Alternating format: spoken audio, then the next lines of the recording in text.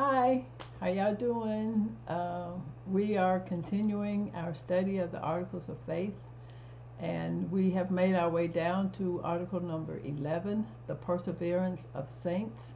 Uh, before we get started, let us pray. Most holy and gracious Father, we come now to study your word.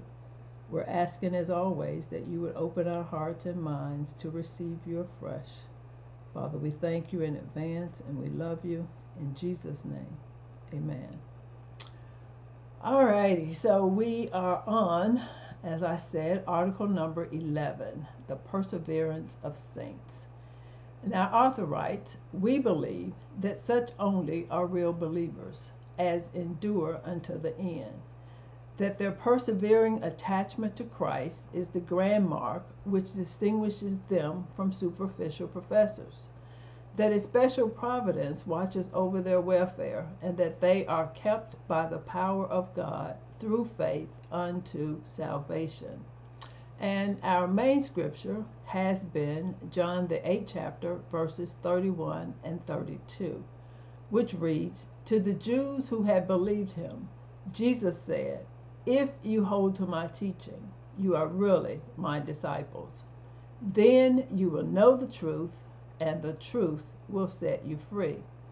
Our main focus uh, continues to be on the latter part of verse 32, and the truth will set you free. So we've been looking at truth that will set us free if we let it. Uh, there are conditions, it won't just happen. That is why Jesus said, If you hold to my teaching, you are really my disciples. Then you will know the truth, and the truth will set you free. And so, one such truth is that we have the freedom from defeat, and that we have no obligation to the flesh. And we find that in Romans, the 8th chapter, verses 5 through 17 which is our second declaration that we've been studying. Um, and today, I'll read verses 5 through 6, and with an emphasis on the word mind. So, verse 5 Those who live according to the sinful nature have their minds set on what that nature desires. But those who live in accordance with the Spirit have their minds set on what the Spirit desires. The mind of sinful man is death, but the mind controlled by the Spirit is life and peace. And so we've been looking at defeat as a mindset. We said that if my mind tells me that I'm defeated, then I'm defeated. I, can't be free if my mind is defeated. But if I change the message that I'm sending to my mind, then things will change.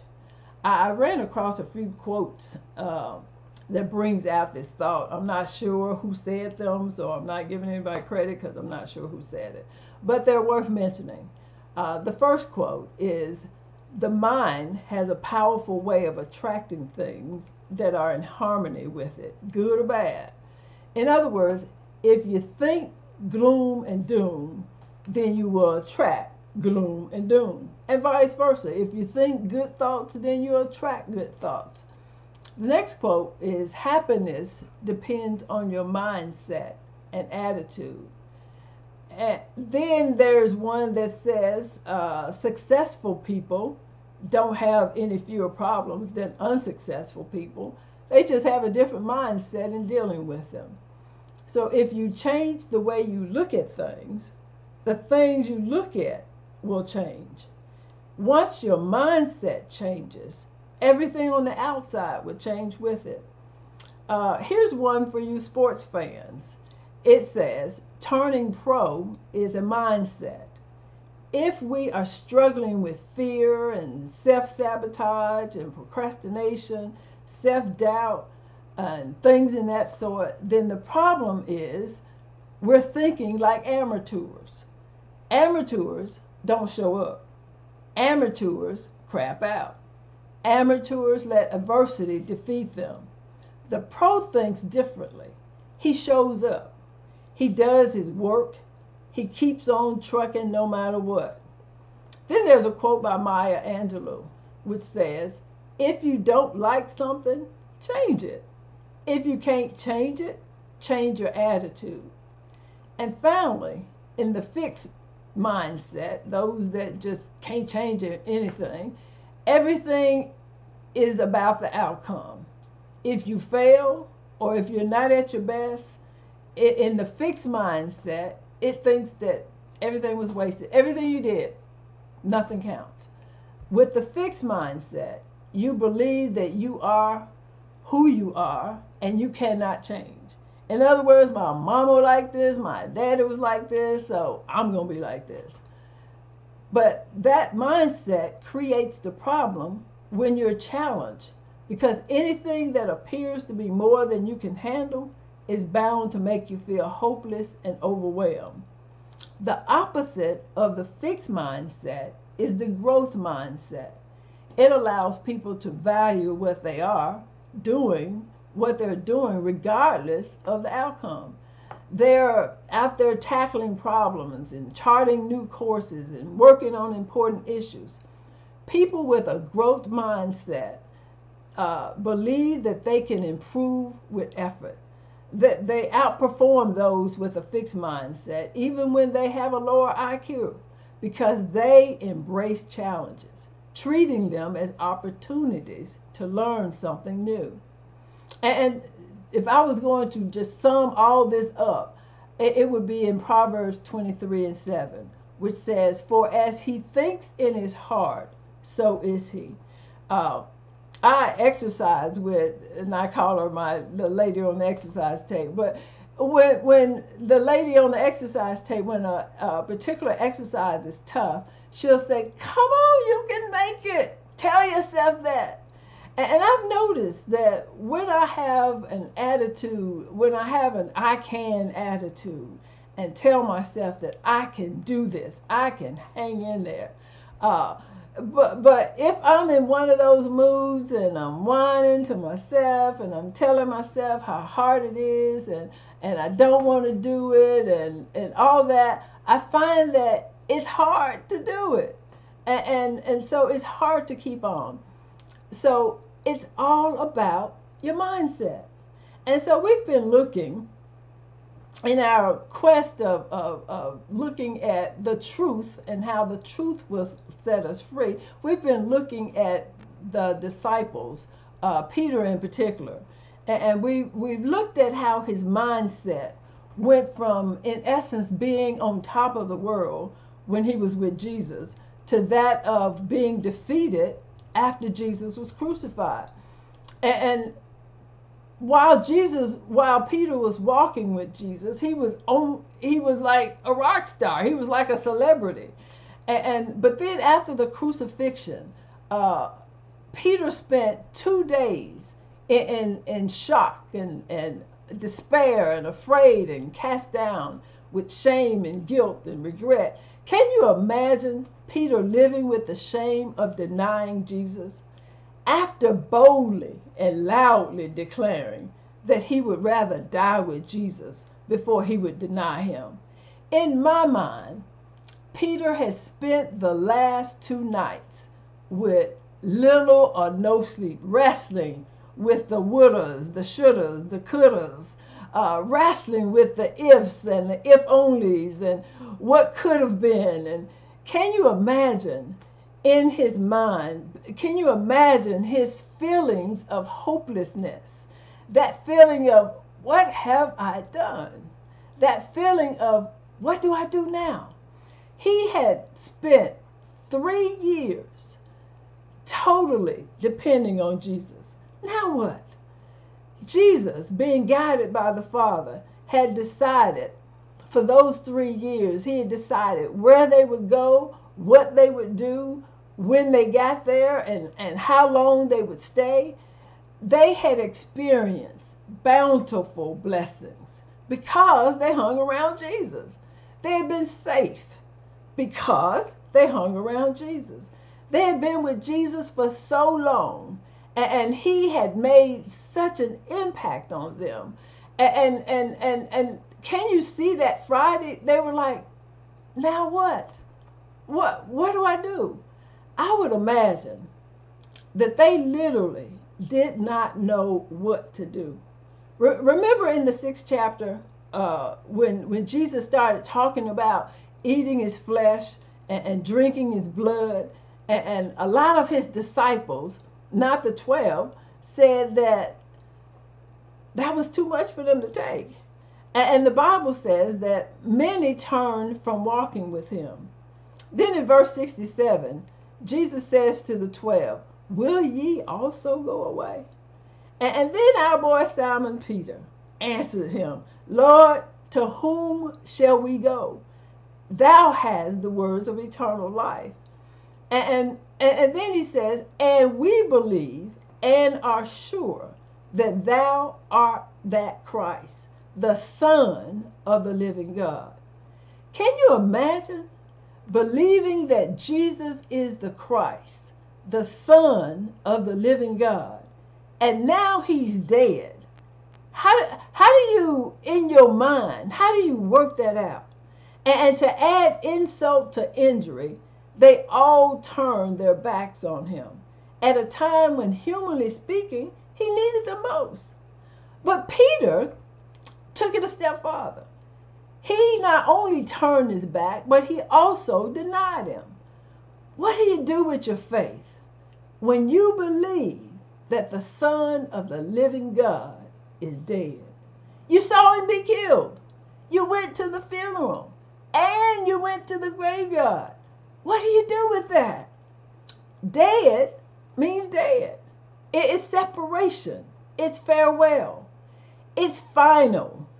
Death is not just final. Death is so final. Means it's gone. It's over. Whatever you didn't say or didn't do when death comes, it's too late. You, you can't go back. Not not even for one more minute. Not even for one more second. Death is final.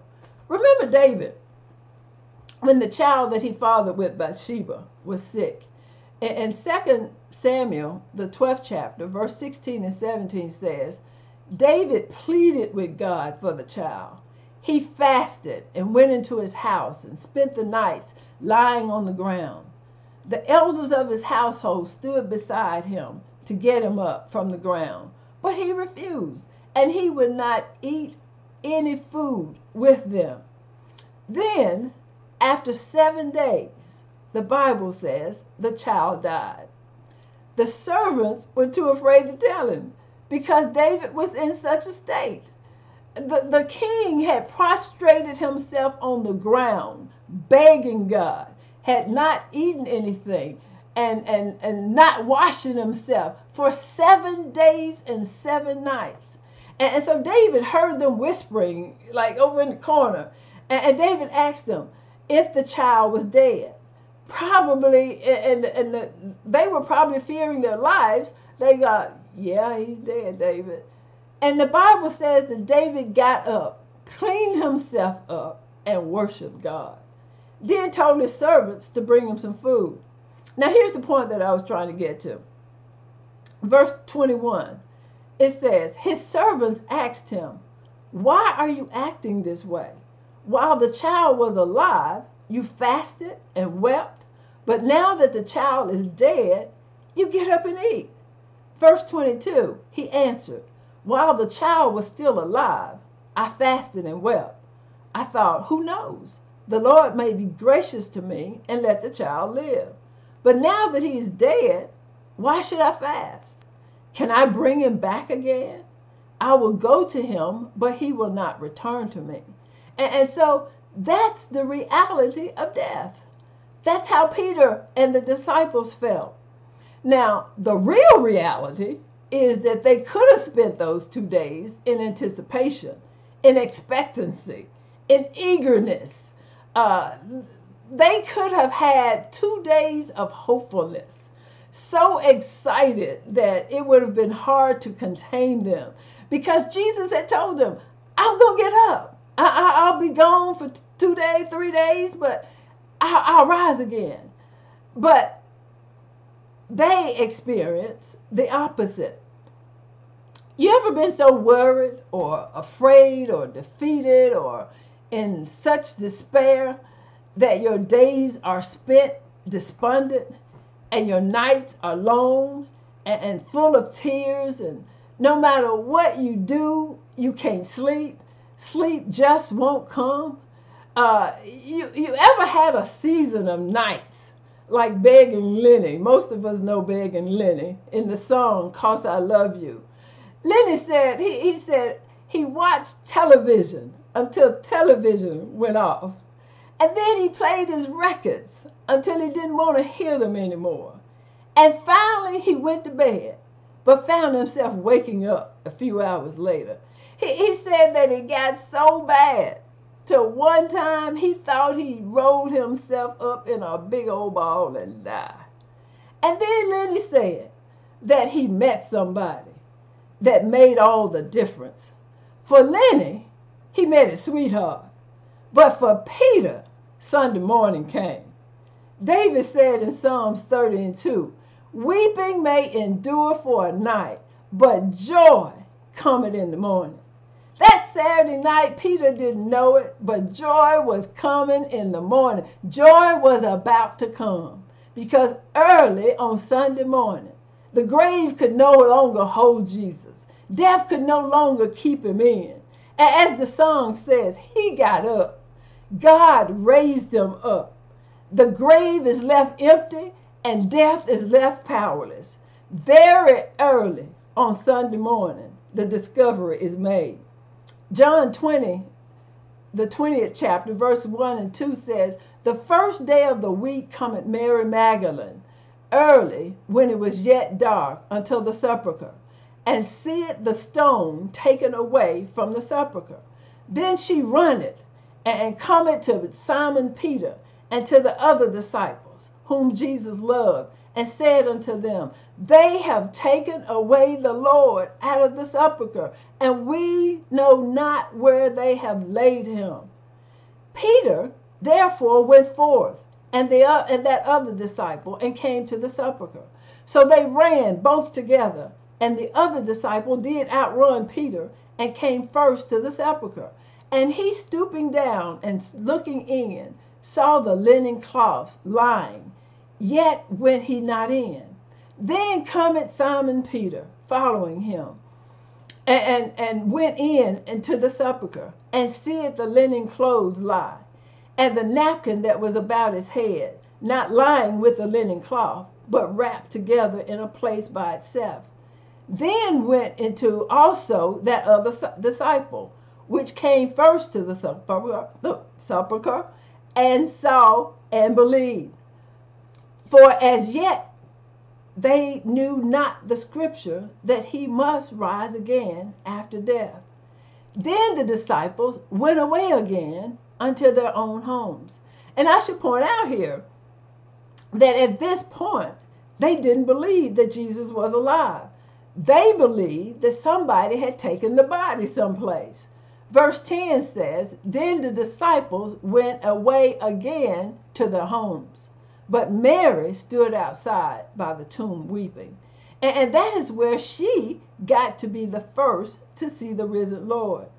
At this point, by reading the Sunday morning account by each of the gospel writers, we find that there is a whole lot of running and a whole lot of hurried walking going on. Folk are running back and forth and, and, and telling this and that. In, in Matthew, the women come to anoint the body and are told by the angels to go and tell his disciples that he is risen from the dead.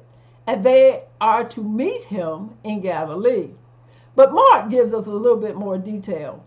Mark, the 16th chapter, verse 6 through 13 says, But he, being the angel, said to them, Do not be alarmed.